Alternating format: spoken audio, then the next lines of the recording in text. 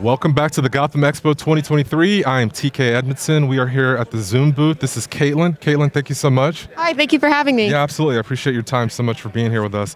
Um, we're going to go over what Zoom has to offer and kind of how we can fit this into a location sound world. So take it away. Sure, absolutely. So first up, well, here we have all of our recorders that are in our field line, and they're all 32-bit float. So first, we'll start with the F8n Pro. Um, this one is similar to our original F8N. The only main difference is um, it would be the new preamps that do support 32-bit float. So it provides you with the option um, when it's set to 32-bit float, um, there's no need to adjust gain. So in post, it allows you to adjust levels. So say if you run into any clipping and distortion, you can bring that down. It will remove the distorted artifacts or clipping noises. Where and then if um, the sound is quieter, if you do bring up the sound, it will add very little artifacts. Lovely, yeah. All right, so then uh, keep, let's keep going down the line. Yeah. So up next we have the F6. This is a smaller version. Uh, it's a 6XLR field recorder. Works the same way as the F8n Pro with the 32-bit float. Um, and then it could also be used, same thing with the other ones. They're all audio interfaces as well. Um, and this one with the BTA1 Bluetooth adapter, it can be connected to an F6 control app, and then it can also be used with the UltraSync Blue timecode device. That's right. Yeah, the app to just Bluetooth everything. Um, yes. Um, okay, great. Let's keep going. Same thing. Uh, the F3, this is our newest recorder. Um, so it is a two input 32 bit field recorder. Uh, as you can see, it's very small. So you could either clip it to yourself or you could tie it up to a boom pole and then just connect the two microphones you need. And again, since it's 32 bit float, there are no gain controls. Lovely. And a body pack recorder set up here with yes. Bluetooth? Uh, this one is the Bluetooth version. Mm-hmm. There is a Bluetooth and non-Bluetooth version. Okay. So with the Bluetooth, you can use it with either the UltraSync Blue for time code, and then you can also use it. There is an F2 control app as well. Excellent. So if you wanted to have that utility, you have an option basically. Yes, exactly. And then the the new guy.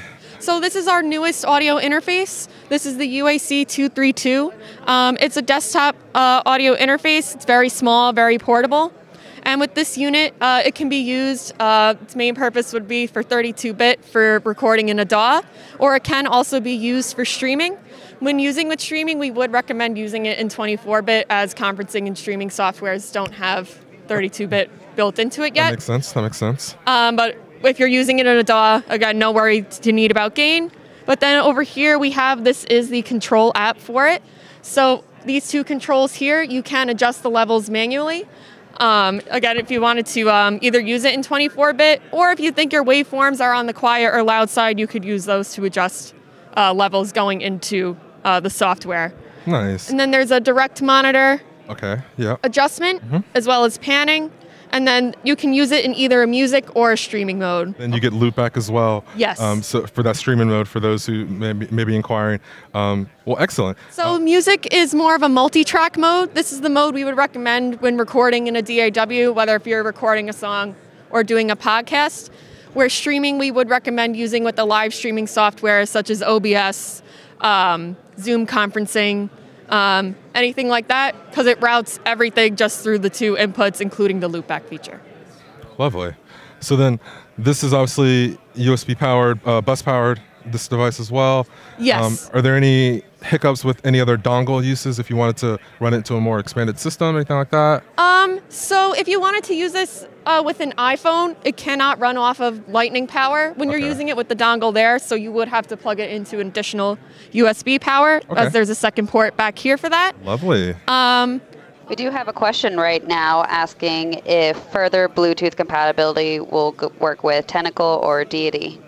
Uh, as of right now, I don't have that information available. Uh, we the only device we have confirmed would be the UltraSync Blue. Okay, yeah, which we, we knew about. Um, okay, any further questions?